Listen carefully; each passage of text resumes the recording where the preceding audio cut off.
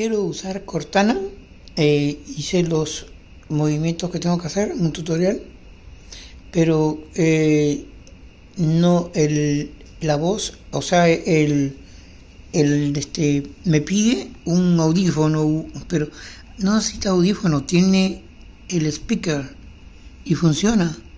Pero este no quiere, mire, acá me ponen acá micrófono, configurar tu micrófono para el reconocimiento de voz. Pero en el tutorial no habla de micrófono. El micrófono dice que está instalado dentro del computador. Y solamente con eso puede escuchar. Y acá sale otra cosa. Miren, acá me sale solamente que no funciona. Dice, indica más detalles sobre el problema. Acá dice, Cortana no me escucha. Cuando hablo, Cortana no responde no escucho a Cortana. Entonces cuando yo aprieto me sale como para reparar la solución a un, problema, ¿no? Mi, micrófono High Sound Technology Digital.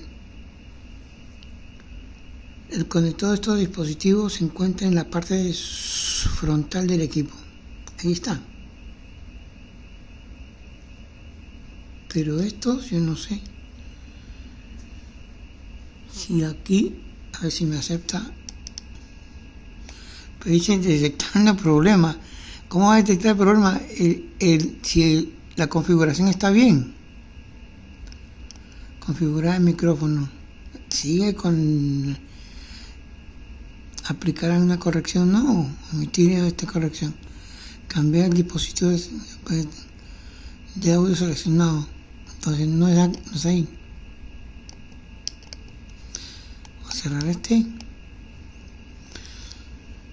es un problema. No quiere no quiere que funcione Cortana. Ya bajé el idioma el idioma ha sido conectado. Miren. Acá ya está el idioma configurado. Acá dice reconocer acentos no nativos en este idioma. Está conectado ellos lo reconocen. El idioma en este el idioma, ya puse el idioma bueno pusieron en España, yo puse este de España. Y el, el micrófono no funciona.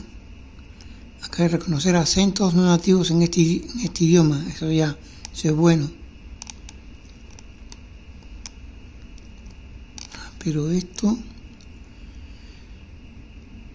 elegir una voz oh, David, Laura. Vamos a poner a Laura ya. A ver si quiere Laura. Voz preliminar. Ha seleccionado Microsoft Laura como voz predeterminada. ya está funcionando, ¿eh? Agregar voces.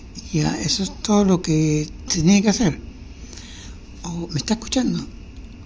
Cortana, ¿qué hora es?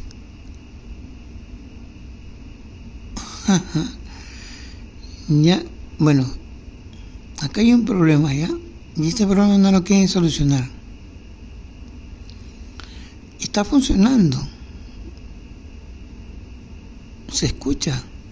Ha seleccionado Microsoft Laura como voz predeterminada. ha seleccionado Microsoft Laura como voz predeterminada.